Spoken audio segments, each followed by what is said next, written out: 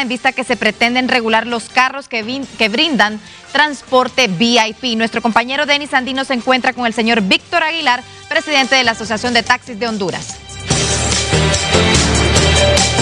Gracias, compañero. Don Víctor Aguilar de Ataxi me acompaña. Esta semana se anuncian movilizaciones por el rubro de taxis a raíz de que las unidades que trabajan como denominadas VIP podrían ser legalizadas. Don Víctor.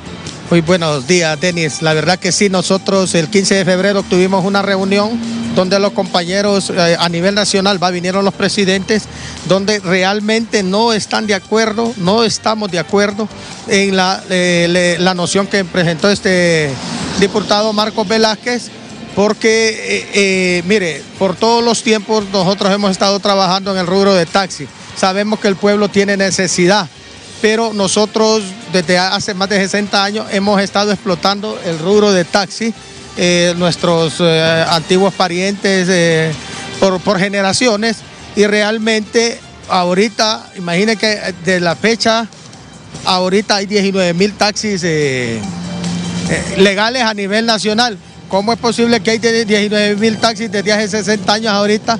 Y ahorita quieren legalizar más de 20 mil carros. Pues ellos dicen 15, pero pueden decir 2.000, Denis. Pero usted sabe que una vez abriendo la brecha se vuelve un mercado.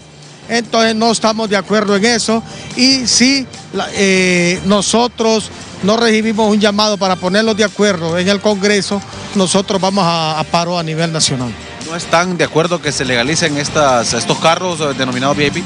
No estamos de acuerdo, estamos de acuerdo con el trabajo estamos de acuerdo de que la población ha crecido, estamos de acuerdo que haya un estudio socioeconómico, ¿verdad? Y que ese estudio socioeconómico dispare, si va a haber realmente, pero con números, números de taxi y que sea al pueblo, pueblo, a la gente pobre, a la gente que quiere trabajar, que no sea unos cuantos lagartos ahí que andan ya en Facebook, ya usted mira, le venden un cupo de VIP entonces eso es lo que no queremos nosotros, que sea el pueblo pueblo, que sea un buen estudio socioeconómico y que no sea a unos cuantos lagartos, a unos extorsionadores de, que ha sido por todos los tiempos de la Dirección de Transporte Terrestre y, quieren hacer esto con el instituto, pero el instituto se ha mantenido firme y está aplicando la ley como debe ser.